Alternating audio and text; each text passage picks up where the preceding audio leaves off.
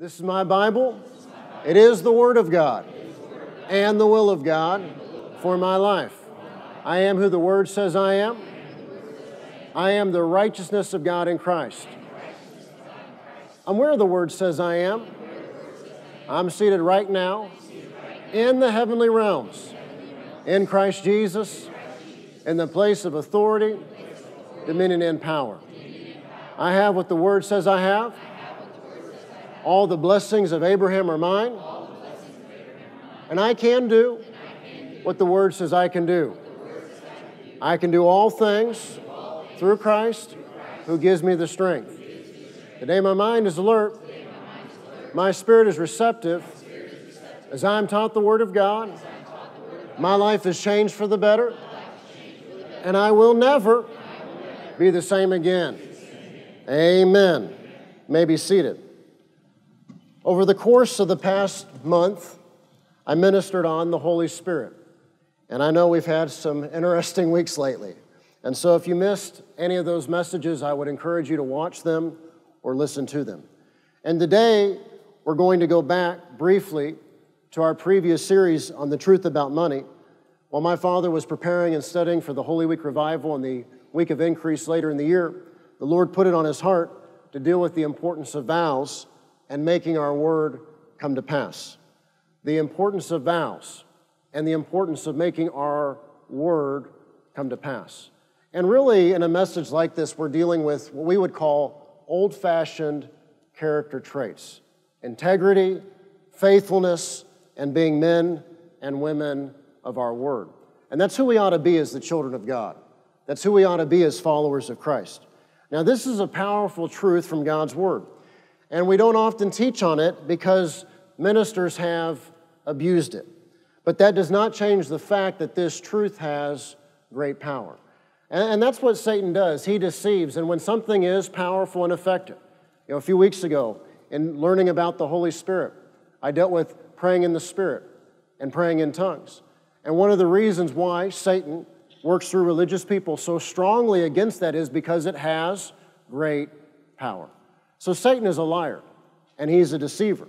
And just because this is a truth that has been abused, it doesn't change the fact that this truth has great power when we work it properly in our everyday lives. Now, in this series, The Truth About Money, we had two launching scriptures. The first was Matthew 6 21. Jesus said, For where your treasure is, there will your heart be also. And then verse 33, after dealing with worry, he said, Seek first the kingdom of God and his righteousness, and all these things. What things? The things that people in the world spend their entire lives chasing after, running after, trying to acquire through any means, unethical means, without character. Seek first his kingdom and his righteousness, and all these things shall be added unto you. And so we learned in that series that if a man or woman, they're not right with their money, that reveals a heart problem. We learned that if you don't have a man or woman's money, you don't have their heart. We, re- we learn that how we handle money and how we handle finances, it reveals our heart and our priorities. And we learn that the purpose of our prosperity is so we can be a blessing. So today we're going to deal with the incredible power of vows and making our word come to pass. The most famous vow in the Bible is in Genesis 28. And we dealt with that earlier in this series. It was last February having deceived his brother and his father, and having stolen his brother's inheritance, and having run away from home in disgrace, Jacob made the life changing decision to embrace the faith pattern of his father and grandfather. And Jacob, in running from home and realizing that his life was a wreck, things were at rock bottom, and embracing the faith pattern of his father and grandfather, Jacob vowed to give God a tenth of everything that crossed his hands. And no doubt he learned that from his father and from his grandfather. Genesis 28, beginning in verse 20, then Jacob made a vow, a, a solemn pledge, a solemn promise, a solemn oath. He made a vow saying, If God will be with me and will watch over me on this journey I am taking, I'm taking, and will give me food to eat and clothes to wear, so that I return safely to my father's house then the Lord will be my God. And this stone that I have set up as a pillar will be God's house. and of all that you give me, I will give you a tenth. So that was the vow he made. That was the promise he made. Lord, if you'll do these things for me, of all that you give me, of all that crosses my hands, of all that you bless me with, I will give you a tenth. So Jacob obeyed the tithing principle at least 270 years before the law was given through Moses. He vowed a vow. And he didn't have any preacher preaching to him, he didn't have any pastor teaching him. He learned that from his family, he learned that from his father and from his grandfather. And he embraced his family's faith pattern. He made a vow to tithe when he had nothing, just a stick. He, he was fleeing, he wasn't just leaving, he, he was fleeing from home, afraid for his life because of how he had conducted himself lies, deceit, tre- treachery, theft, being a liar, being a deceiver. The Bible says a supplanter. He had nothing but a stick, but he vowed to God. The most powerful vow you'll ever make is when you have nothing or very little.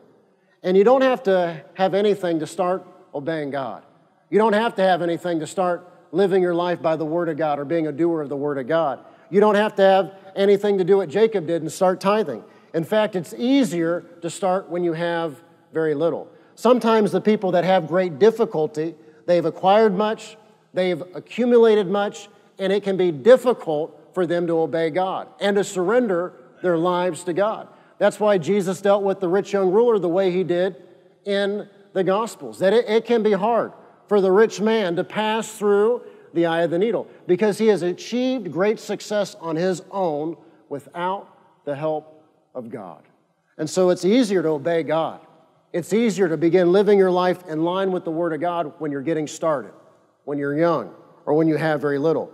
But the truth is this if we won't obey God with what we have now, then He knows we won't obey Him if we have more.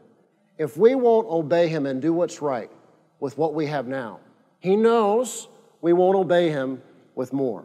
So you don't need any money to start tithing. All you need is commitment. All you need is a desire to give and be a blessing. All it takes to start tithing is, in fact, love love for God's work, love for God's mission, and love for God's house. And it has more to do with love than money or finances.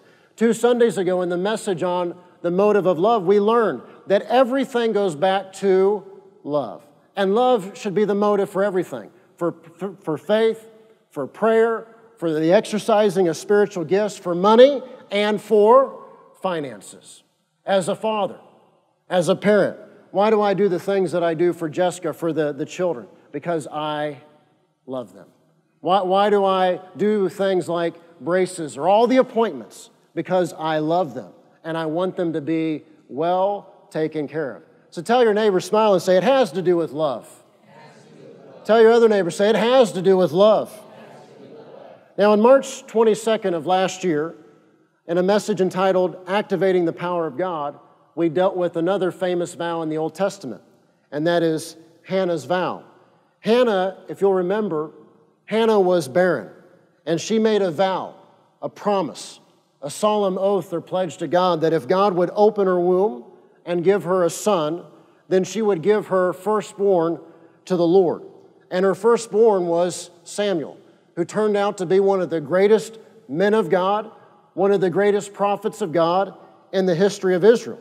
And she kept her word. She made her word come to pass. She was barren, she had no children. And in desperation, she made a vow. And God did his part, but then Hannah had to do her part. And she kept her word. She, she made her word come to pass. And then later, God blessed her with three more sons and two daughters. What a wonderful harvest. Amen. She gave a child to the kingdom of God, and God blessed her with five more. The word vow, as an example, the word vow is in the New International Version of the Bible more than 80 times. And today we'll just hit a few of the highlights. The context of the word vow more often has to do with free will offerings given above and beyond the tithe. Sometimes vows were made by a group, as in Numbers 21 and verse 2. Then Israel made this vow to the Lord If you will deliver these people into our hands, we will totally destroy their cities. Number one, vows to God must be fulfilled. So we see this in the Word of God, and we can make a vow. We can make a promise. We can make a solemn commitment. But we see, number one, that vows to God must be fulfilled. We, as the people of God, as the children of God, as followers of Jesus Christ in this dark world, we ought to be people of our word. We ought to be men and women of our word, and we ought to make our word come to pass. Now, at FCC, we don't often use the word vow, and again, it's because ministers, sadly, they abuse it. We also don't use the word pledge. You know, that, that can be a very denominational word. We don't do pledges, we don't do fundraiser drives, amen. We don't bring outside consultants in. We simply always tell you, the people, to give, to do whatever the Lord puts on your heart. And that has great power. Amen. We use the word commitment. But whatever word you use, vows to God must be fulfilled. Numbers 30 and verse 2 says, When a man makes a vow to the Lord or takes an oath to obligate himself by a pledge, he must not break his word, but must do everything. How much? Everything he said. And this is so important because of the culture that we live in today. In the past, you know, decades ago, people would say things like, a man's word is his bond, or something like, a man's only as good as his word. But sadly, that's not the culture that we live in today. People lie, people deceive, people don't make their word come to pass. And it can be very challenging in uh, the culture we live in today. That's why you've got to confess every day that you're blessed, you're protected, your steps are ordered of the Lord. Amen. That anybody that you need for anything done, you know, we realize that after the weather we had, that there are some families that need some things fixed, taken care of, replaced, whatever it is. But even in that, confess that God is bringing the right people to you. God is bringing the right people to your home and your property. That the people that come will do their work with excellence. They'll charge the price they should charge. They, they won't gouge. They won't take advantage of the situation. They won't make it worse. Amen. And part of the reason why we confess those things is it's the lousy culture that we live in today. And in this culture that we live in today, people don't make their word come to pass. Now, if you'll have ears to hear, as Jesus said, and be a doer of the word of God, this message will save you a lot of heartache and a lot of trouble most of which we inflict upon ourselves. When you tell God that you're going to do something, do it. You know, Nike used to advertise, just do it. When you tell God that you're going to do something, doesn't matter what it is something regarding your family, something regarding your children, something regarding living right, something regarding a gift, whatever it is, when you tell God that you're going to do something, do it. Despite what the culture says, our Heavenly Father is not like our teacher at school. He's not like one of our casual friends or a Facebook friend. He's not, as the young people say, our BFF. He's not our guidance counselor. He is a great king. He is the Almighty God. He is the creator, the master of the universe, and we shouldn't play games with God. We shouldn't play around with the things of God. Hebrews 10, verse 31, which is in the New Testament, says, It is a fearful thing to fall into the hands of the living God. So don't play games with God. Numbers 30 and verse 2 when a man or a woman makes a vow to the Lord or takes an oath to obligate himself by a pledge, he must not break his word, but must do how much? Everything. So it doesn't matter what the culture's doing. It doesn't matter what the culture out there says is acceptable in 2021. For, for us as the children of God, for us as followers of Christ, there has to be a higher standard. And that standard is the Word of God. And so we ought to be people of our Word. We ought to make our Word come to pass. The Bible says, even though it hurts, we ought to be people of our Word. We ought to make our Word come to pass. So Jacob fulfilled his vow. You can read about his story, how God, how God blessed him, and how when he came back home, he was so blessed that they had various groups and he spread it all out so his, his older brother wouldn't realize how blessed he was. Hannah made her word come to pass and God blessed her. So vows to God must be fulfilled. Number two, you're not required to make a vow. It's not a requirement. Tell your neighbor, say, it's not a requirement. And this is why the Bible says it's better not to vow than to vow. You're not required to make a vow, it is your decision. But if you make a vow, fulfill it. If you make a vow, bring your word to pass. Deuteronomy 23 and verse 21 If you make a vow to the Lord your God, do not be slow to pay it, for the Lord your God will certainly demand it of you, and you will be guilty of sin. But if you refrain from making a vow, you will not be guilty. Whatever your lips utter, you must be sure to do because you made your vow freely.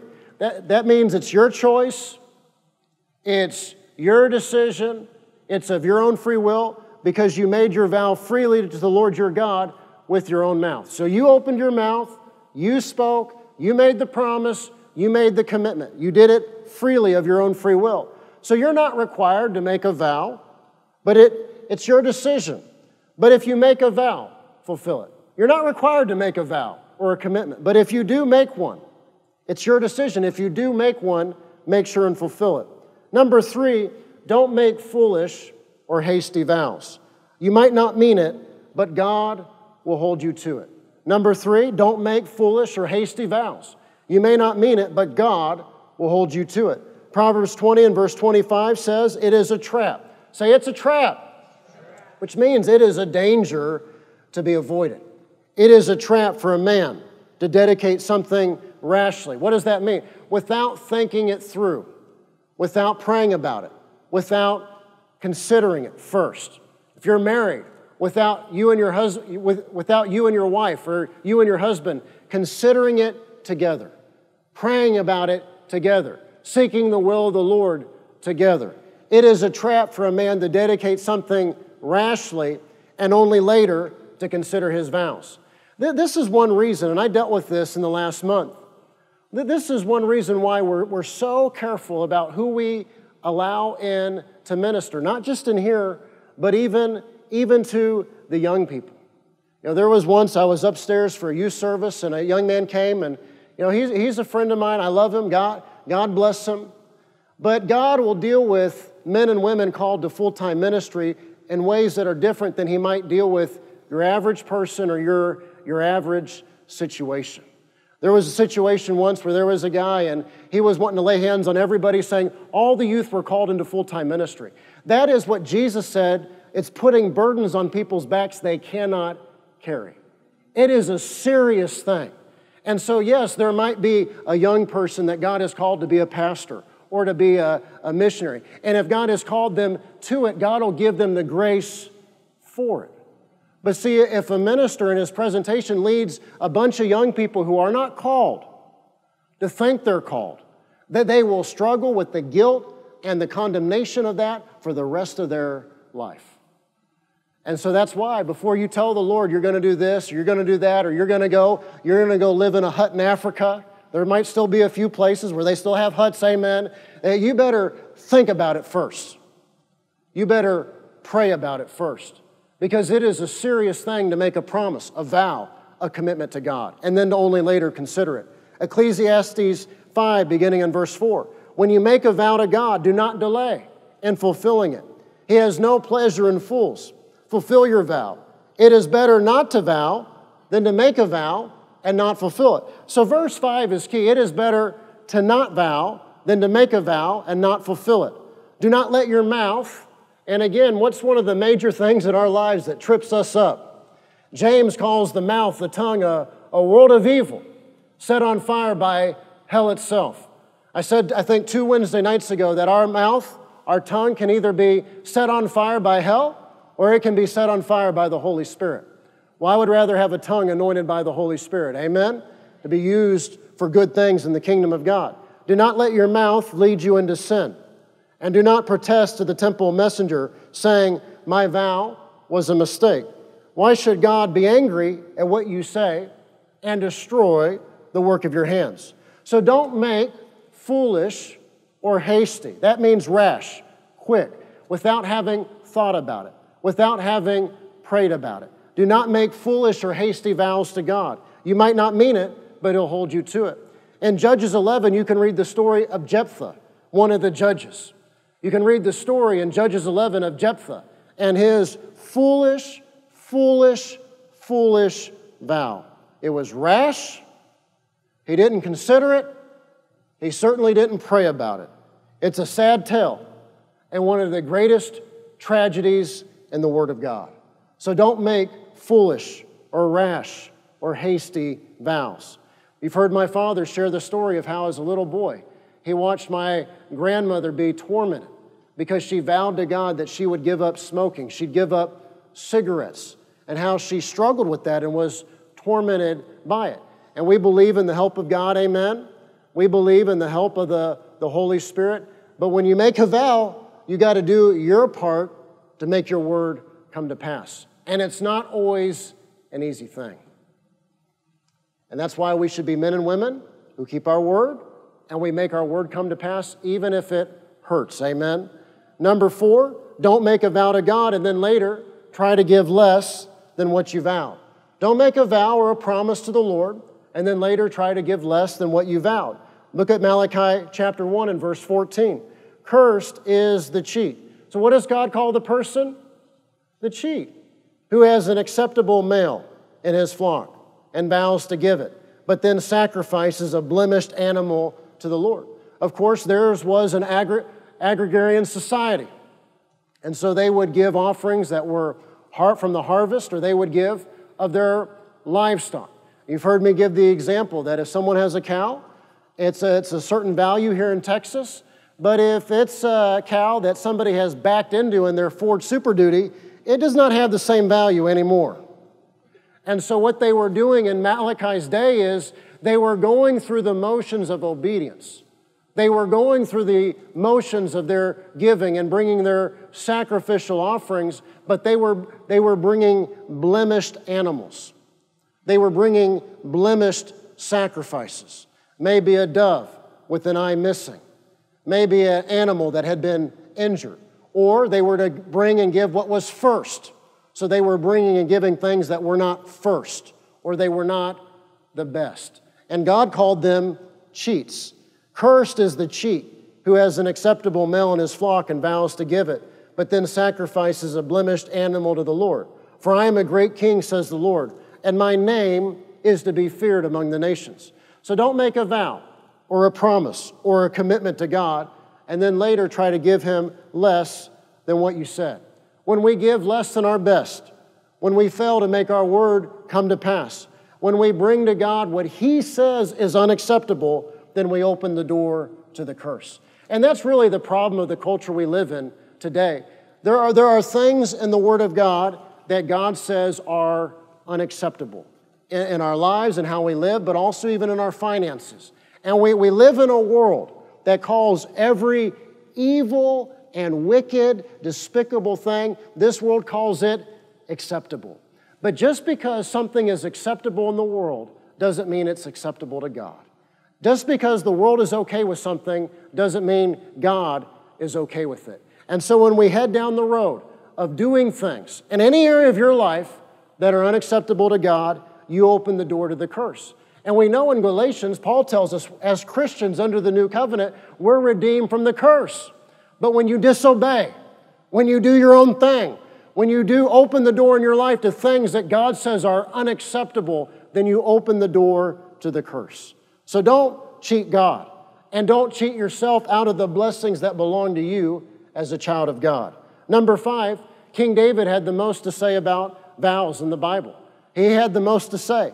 An example is Psalm 50 and verse 14 Sacrifice thank offerings to God, fulfill your vows to the Most High, and call upon me in the day of trouble. I will deliver you, and you will honor me. So he wrote, Fulfill your vows to the Most High. Psalm 76 11. Make vows to the Lord your God and fulfill them. Let all the neighboring lands bring gifts to the one to be feared. So make vows to God and fulfill them. Or Psalm 116, 14. I will fulfill my vows to the Lord in the presence of all his people. And again, we need to be men and women of our word. When someone is married, when a couple is married, they often make their vows in public before people because it is a solemn commitment. Or here, I will fulfill my vows to the Lord in the presence of all his people. This is why pastors make their challenge offerings public. This is why Jessica and I, along with many others, we made public commitments on Easter Sunday, 2018. We are fulfilling our vows to the Lord in the presence of all His people, as men and women of our word, making our word come to pass. You might say, Austin, in this part of my life, I've messed up. In this part of my life, I failed to make my word come to pass. Well, praise God, He forgives us. Amen. Praise God, His mercies are new every morning. But you ought not keep doing the same thing again and again and again. Well, we ought to change. We ought to do better. We ought to improve for the better. And from this day forward, we ought to be men and women of our word. Something we're mindful of that my father would often use as an example when we were growing up is he would say that as parents, we ought to keep our word to our children. And so if we tell our children we're going to do this or we're going to go there, you know, he, he'd give the example of Six Flags. I'm not promising my children we're going to Six Flags. And, and Jessica, with all this craziness in the culture, she doesn't want to go anywhere. Amen? She just wants to go here in Florida, I guess.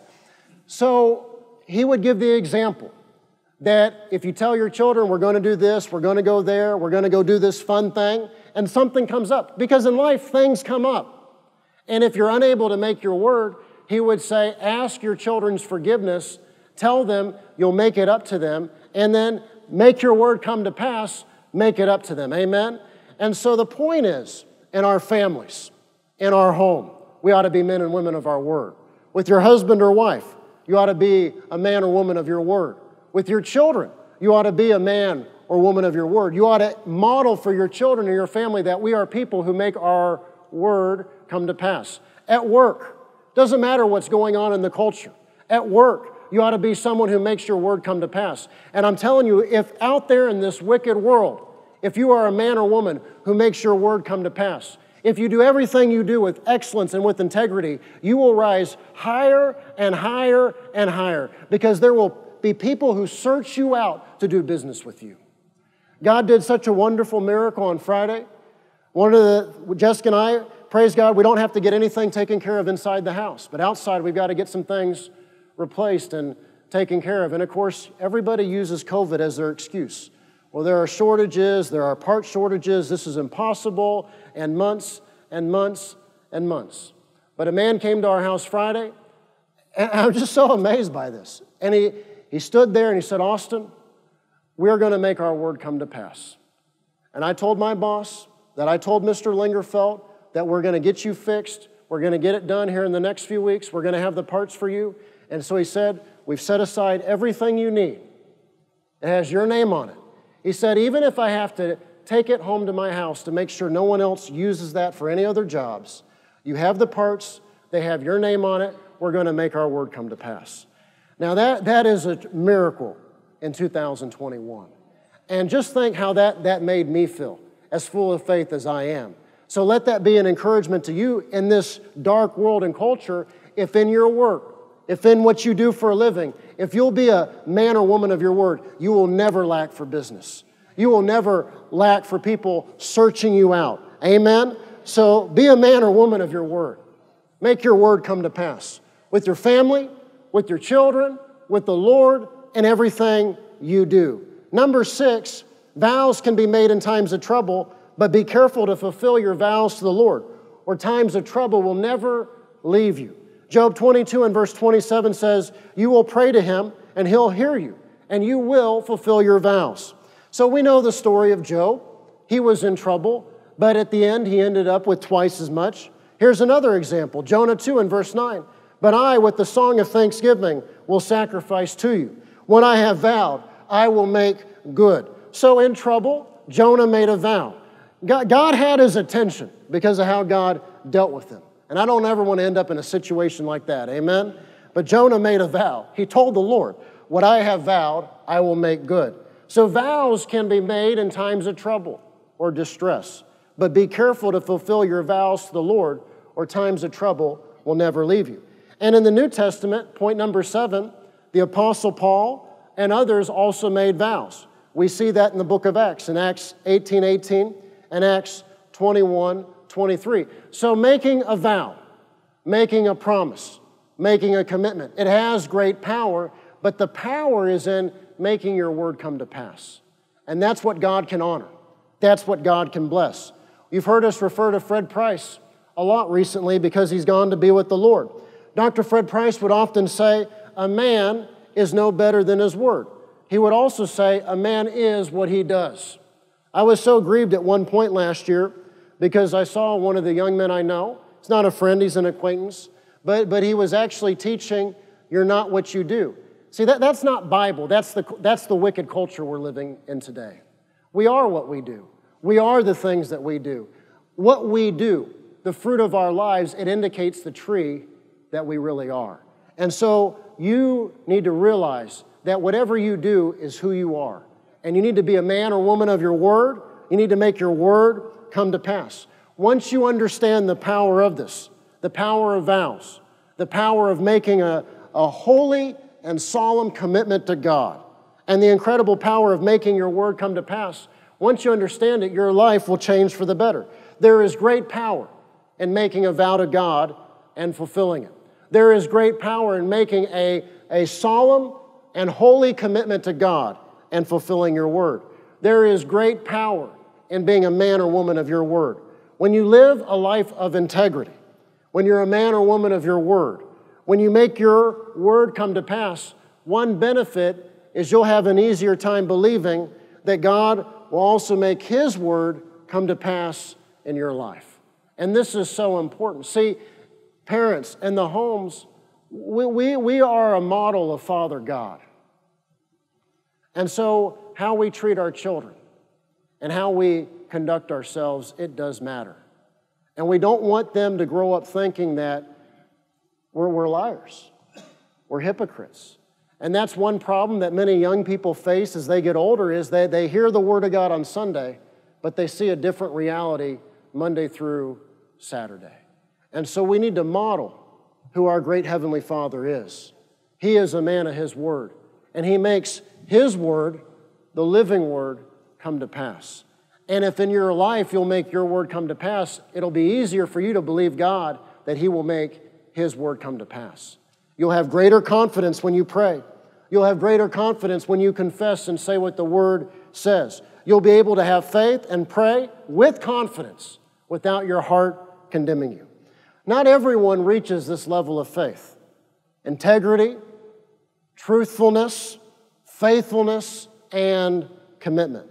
But, friends, this has great power, and this is the place, this is the level where men and women of faith rule and reign in this life.